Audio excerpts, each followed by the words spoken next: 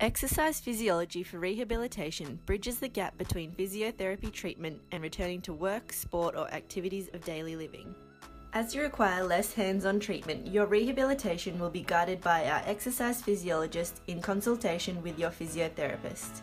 Accredited exercise physiologists are university qualified experts in the field of exercise prescription for varying health issues. They are experienced in working with people who are injured and are experts in improving movement and function.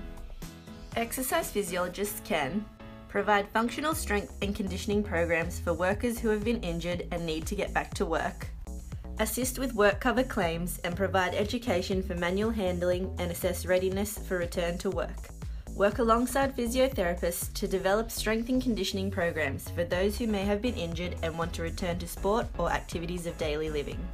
Or implement health and fitness programs for those who are wanting to make a positive lifestyle change but are not sure where to start. Exercise physiology may also help manage other health conditions such as cardiovascular disease, diabetes, arthritis, osteoporosis, chronic lower back pain, obesity and weight management, mental health, and Parkinson's disease. For more information on our exercise physiology services, please visit our website ssphysio.com.au or phone us on 9527 4099.